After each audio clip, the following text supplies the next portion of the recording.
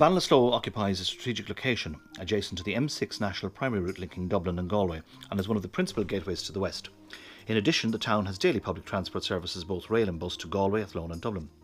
It's located on the eastern aspect of one of the county's strategic development corridors and enjoys a 2016 census population of over 6,600, with a large, significant catchment population of 22,500 living within a 15 kilometre radius.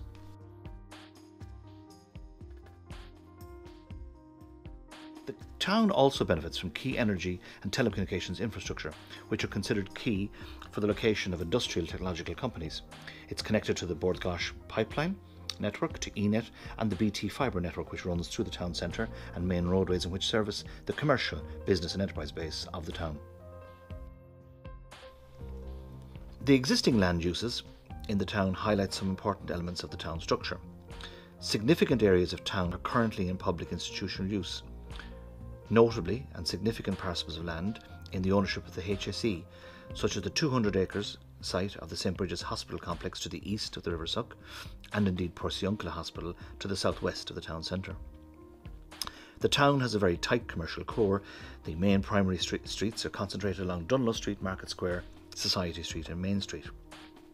The commercial developments around the town are small scale, local, neighbourhood type stores consisting mainly of comparison goods, and the town centre is adequately served in terms of medical recreational services, restaurants, cafes, takeaways, hairdressers, barbers, pubs, and indeed discount stores.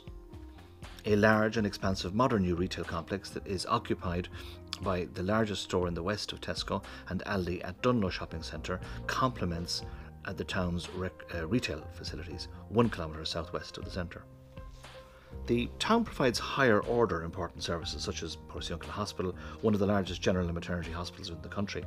It's also well serviced with educational facilities, and spare capacity exists currently in both primary and second level schools. The proximity of the town to Athlone, which is some 25 minutes away, and Galway City, which is some 50 minutes away, for third level facilities is also a major advantage.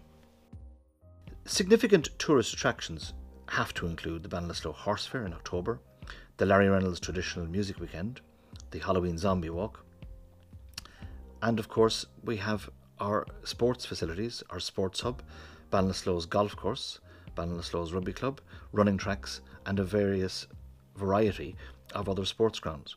In excess of 25 million has been invested by both community and the government in the last 15 years in investing in our sports and recreational product marine tourism continues to be a growing sector, and ongoing works to make the River Suck navigable have resulted in the linking of the town to the Shannon Erne waterway, one of Europe's largest leisure waterways. A 25 berth public marina has been completed by Dúchas at Slienahowen, and a private marina at Portnick has berthing facilities for 35 pleasure craft, with permanent and winter moorings.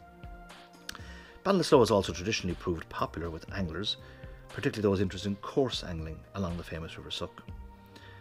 Ballinasloe hosts a range of industrial enterprise ventures that are operated by both national and international companies. The industrial developments are located on the outskirts of the town, to the south and to the southeast.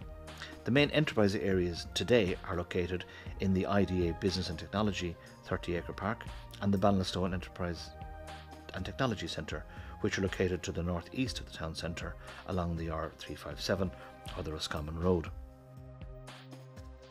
Residential growth experienced within Ballinasloe in recent years has further strengthened the economic base of the town. The majority of our residential development is located outside the town core on the arterial routes outside the town. Housing estates or developments are generally small to medium size. They're not confined to any particular area of the town, though Creagh and the Glanton Kilgarrive areas display significant concentration of private residential development east of the River Suck and there are also considerable backlands areas to the rear of the main streets which offer significant potential for further development.